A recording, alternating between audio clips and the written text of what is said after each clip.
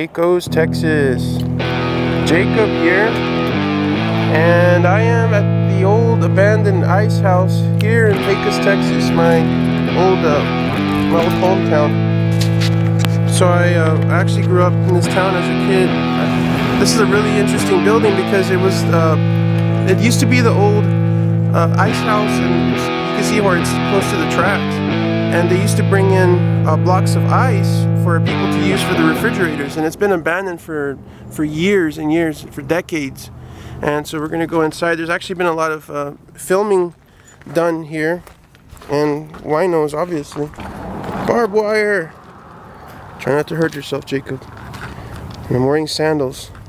Actually I'm not wearing sandals today. Okay. Hope I don't get in trouble here. Look at all that glass. Very interesting. Alright, so we're gonna see. I think there's a way in, if I remember, because I've been in here before. And like I mentioned before, I've actually done a video, but uh, unfortunately the quality was so bad because I was, I was using a cheap camera back then. Uh, okay, this is where the that's where the evil spirits live. Hello. Actually can't go in because the thing won't let me. Can I get uh, can I get an amen? Amen. No sounds.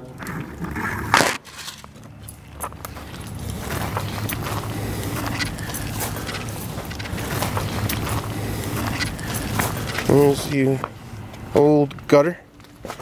And we're gonna come in and we're gonna come film inside the old abandoned ice house. How convenient, a refrigerator.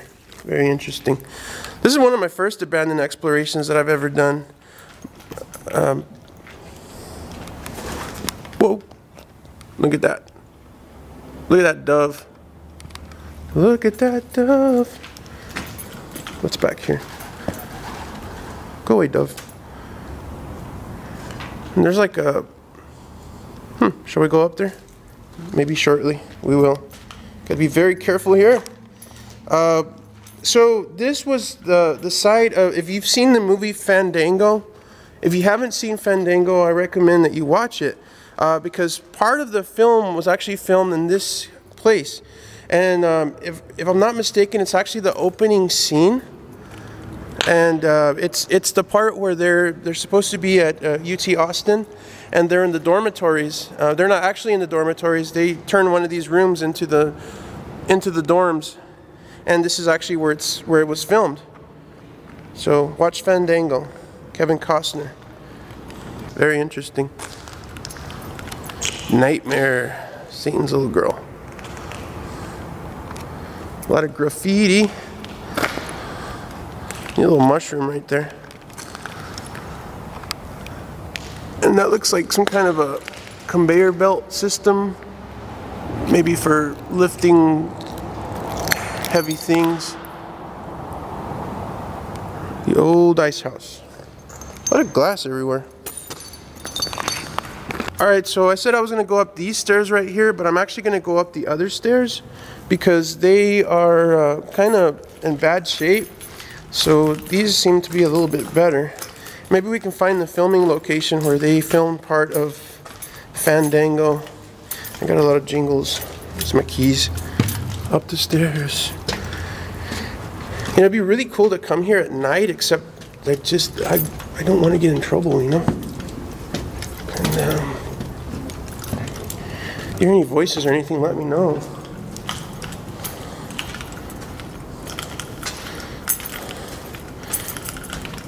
Kind of do hear something. It's probably just my echoes and stuff like that. So we're gonna go up these stairs. The abandoned ice house in Pecos, Texas. The city of the snake. It says keep out. Well, it's a little too late, isn't it?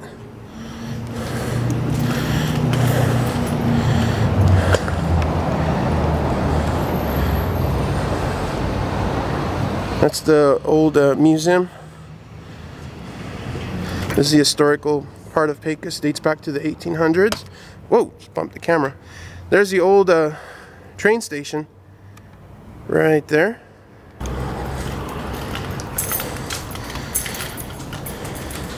Interesting graffiti.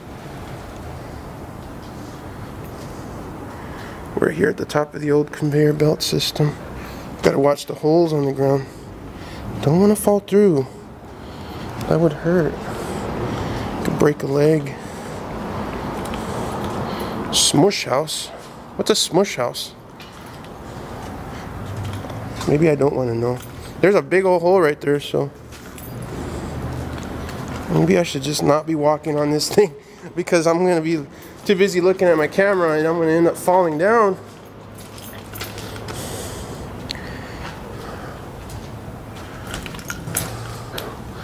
Very nice. That's the old Pecos Mercantile. This town has a lot of history. It's a dusty little town in the middle of the desert, but it has lots of history.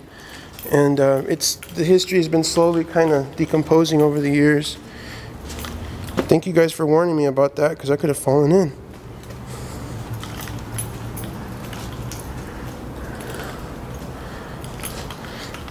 See, once again, I could have fallen in. Okay. So it makes me wonder, like, where it was that they filmed the opening scene. And it's kind of hard to find on YouTube. I haven't been able to find it, but you can you can definitely buy the DVD of uh, Fandango.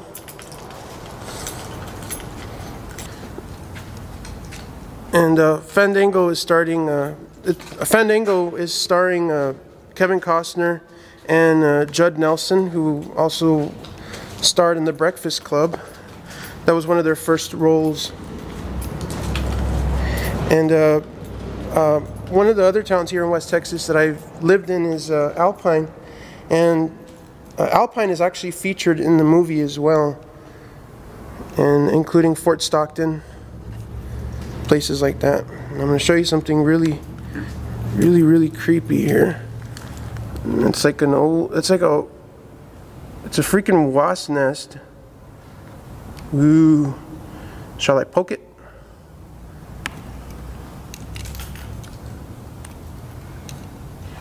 No, I'm gonna poke it. I'm just kidding, guys. I'm not gonna actually poke it. I wouldn't do that. Check out the doves. Check out the doves. Can I start singing When Doves Cry? The acoustics are good for it. Y'all are like, no. Don't kill us when doves cry. Old crack windows. My car is down there. It's behind that little garage area. Or my SUV, whatever. I'd love one of those lights for my house. Another wasp nest up there. Alright, let's go back down. Very creepy. Very creepy. Let's go. I wonder how far this goes back.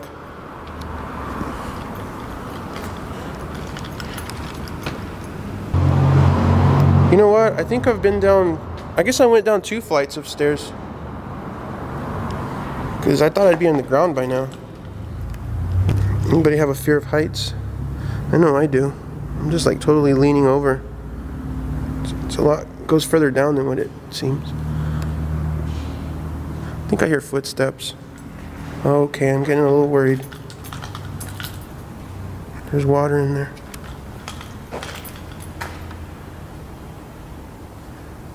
Can you hear those footsteps? Okay, I'm getting kind of scared. I do have a pocket knife as a weapon. Yeah, them are footsteps. Maybe I'm not the only abandoned explorer in here. I don't want to slip and fall on this, all that sand. Okay, I think it was just a dove. I don't think those were footsteps. It was just a dove. Keep telling yourself that, Jacob. Yeah, they're like making little hooting sounds. Keep telling yourself that, Jacob. Keep telling yourself that. Okay, we're gonna go ahead and go in here. I have the feeling that maybe this was the location where they filmed. Let's see what, maybe this graffiti will let us know. La Trola was here. 2004. So was Baby Joker. Also in 2004. Or is that 2084? They're from the future. Ah! Alright. I think this was like a little, maybe an office area or something. There's an old refrigerator. Lots of fridges everywhere. Whoa! Okay. Now, you know, this, what was that? You know, this might, this actually might have been the room where uh, that scene in Fandango was filmed. And I, don't actually want to post a picture of it because I could get in trouble for copyright, but you can look it up yourself. Uh, I know I probably should have rewatched it before I came over here. I've seen that movie so many times. It's just the, you know, it's just studying the, uh, the movie and stuff like. Okay, April 2016. When was that last year? Alpine Bound. I used to live in Alpine, so they're going to another one of my old hometowns. Uh, I could, I should maybe next time I'm in West Texas again, uh, do a little uh, filming thing on. Okay, I heard something. Please tell me that was a dove, please, because I heard freaking knocking. Guys, I'm like, I'm not trying to mess with you guys or anything like that. I'm trying to do an actual. I'm not into the whole paranormal thing or anything like that. I'm just trying to do like a little documentation of what was here. So like, I'm, I'm not you know, making sounds on purpose to try to. Uh, most likely, it was just a, a, it was just a dove, I think. So, and then oh, there's up there. I'm worried about like things freaking falling on me and stuff. An old. Look at the the knockings back. I think I'm getting the hell out of here. This is really scaring me. There's like some knocking sounds going on here.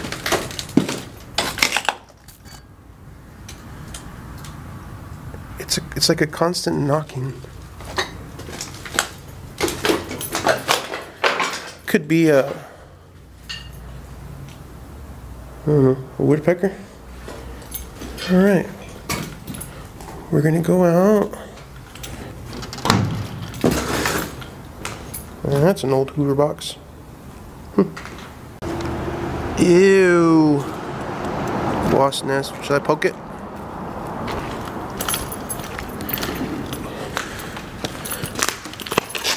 Kentucky whiskey. Yep, the winos have been here. There's that knocking again. You know, guys, I, I think that really was a dove, and here I am freaking out for no reason. I I don't think it was anything that serious. Although I bet it'd be kind of eerie at night. When I was, we were just up there and there's like, I saw water in here. There we go. Really freaky. We found the body in here or something. Look at that. Can you imagine how dirty that, filthy that water is? There's like freaking mosquitoes in there. There's like mosquito larva, mosquito breeding ground. Says keep out. Maybe we should do that. You can hear the train. The train's coming. The train is coming.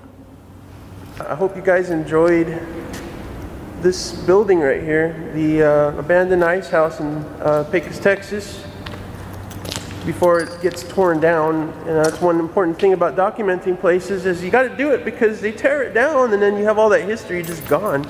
So uh, if you just kind of bring your mind, just bring your your uh, your mind back in time and imagine what it used to look like. Please watch that movie Fandango. A lot of it, it takes place in West Texas.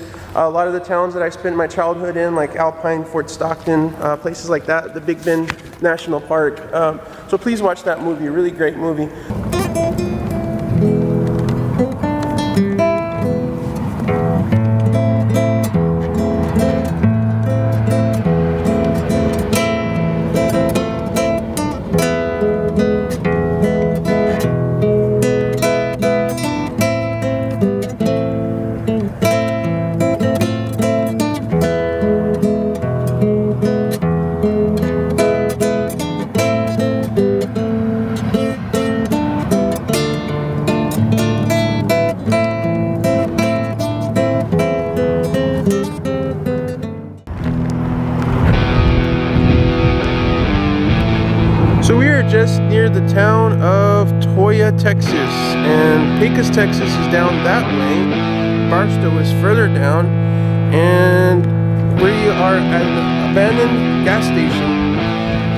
Like they're uh, parking some oil field traffic here. This gas station is unique um, and it's special to me because my uncle, Uncle Jesse, he passed away some years ago.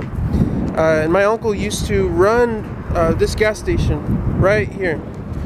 You know, he, he did a lot of things, and uh, you know, one thing he would he would find a lot of arrowheads around this area. And uh, if you watch my um, uh, apartment video when I still lived in Monahans, Texas, uh, I kind of showcased my my arrowhead collection. I put them in the Riker mount, and that's where they come from from my uncle. So. Oh boy. Look at all that glass.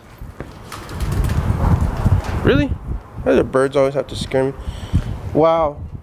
You know, this is crazy because I remember coming here as a little kid. He actually brought me in through this door right here. We came to come visit him. My uncle brought me in through this door. Let me, let's come through the door. Wow.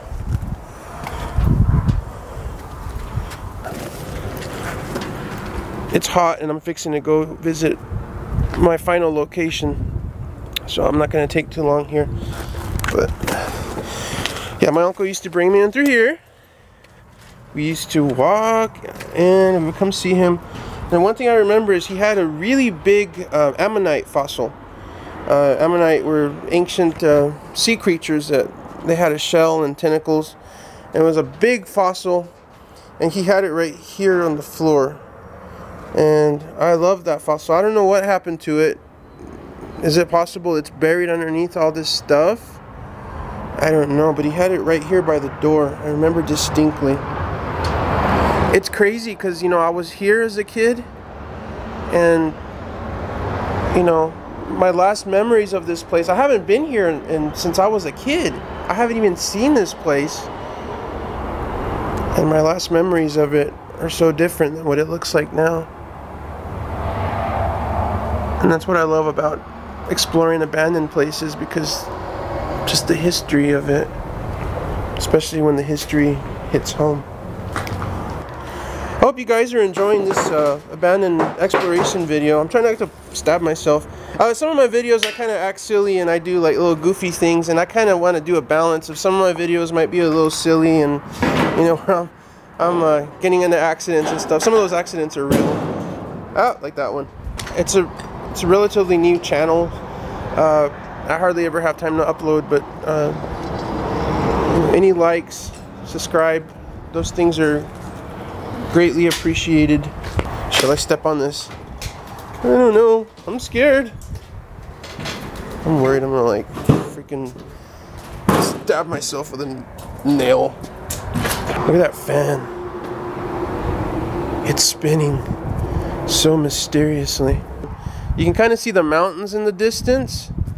Uh, if you go further down, uh, those are actually the Davis Mountains.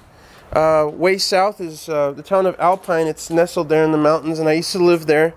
Uh, there's another town that's further up called Balmorhea. It's kind of at the base of the mountains. It's it's the home of the world's uh, the largest spring-fed swimming pool in the world. I also used to live there as well, and you can see those mountains a lot closer. And then if you go that way, you just keep going and going, that's El Paso. I have an uncle that lives there and I like going there as well. Well, not since I moved away. It's it's kind of far because I'm at the other end of the state right now. Um, look at the tile. Ooh, the spirits want me out of this place. Mustn't read the graffiti. It's bad luck to say what it says. Wanna, wanna, wanna Fanta. Sorry. It's an old phone book or something. What is this? It's like it's milestone oil pad drilling weight. Hmm. Documentation stuff. Boring. No, it's not boring. I think my battery's running out. Alright, well, we're off.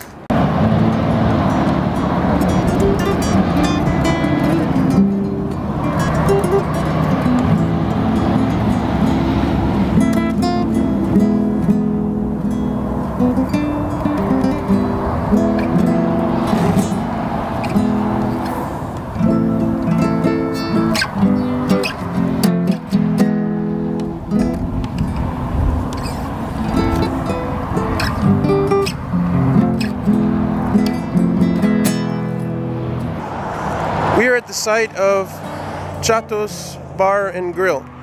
Uh, this is a filming set. Yeah, I'm actually gonna go through here. Try to like uh, freaking shimmy my whole body. Okay, I'm gonna, I'm gonna like okay, this is gonna this is gonna suck, you guys. Yeah, I'm stuck. Oh, my shorts are caught in the barbed wire. Can you guys help me out here? We are approaching Chatos Bar and Grill. Now this uh, bar and grill, it's not a real bar and grill. It was actually designed for the movie Fandango. Check out that barrel cactus right there. And that's a creosote bush. Very nice. My shoelace is untied. What a hell of a place for that to happen. So we're coming to the spot where uh, uh, in the movie, Kev, uh, it's uh, uh, what is there four of them boys? Kevin Costner, Judd Nelson, and two other actors. And uh, in the movie, they're approaching. They they kind of stop right here. They pull their car in, and uh, the idea is that they're going to go visit their old bar and grill, Chato Ortega's. And uh, apparently, the building was burnt down. It looks like an old abandoned building. It's actually not. It was built as a movie set. This was never meant to function as a bar and grill. It was built specifically for the movie. And uh, let's go explore in there a little bit before my battery runs out. And I should maybe tie my shoe, or maybe not. I'm kind of in a hurry because my battery's running low. Or maybe I should have charged it. Interesting. And there's a scene in the movie where they're kind of like looking out through that window. And you can actually see the cars passing by in the movie. It's an old bed. Wow. Kind of a heavy drop there. Oh, there you go. Groover's 71. Uh, again, that's a Fandango reference. So if you haven't seen it, I implore you to watch it. They were called the Groovers. In fact, that might have even been them that wrote that. Jose. Jeff Craig.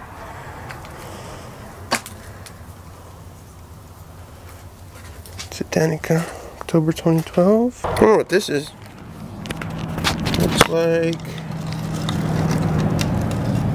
Oh, that was in an old car. I think this was in the movie. Interesting. TexasBowhunter.com. Huh. Shout out.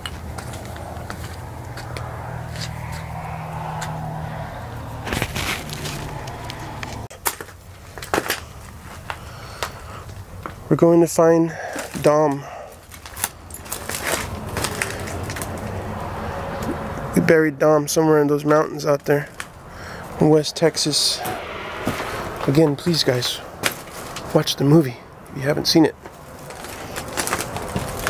I don't want to fall in. Uh,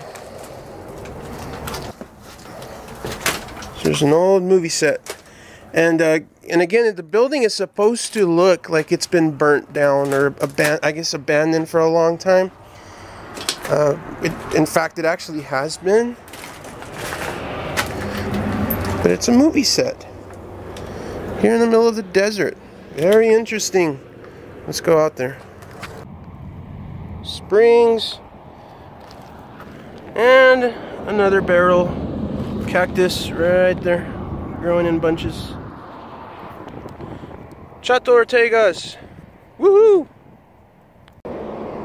And there's the sun. Very nice.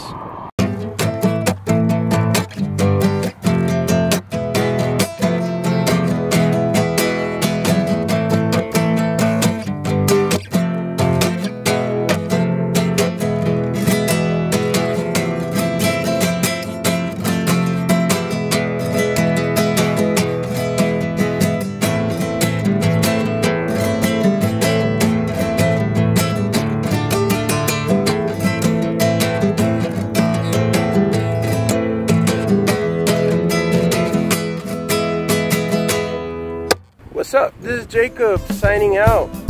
sitting on some barbed wire.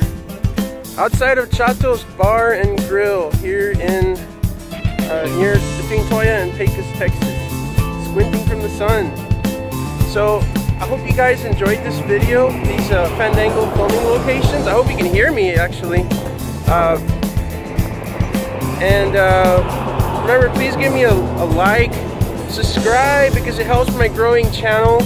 Really tiny right now. And uh, remember, peace, love, and happiness. Groovers. Goodbye. See you later.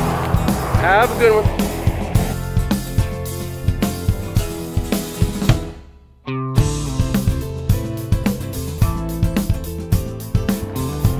Oh, that's where I put my laundry basket.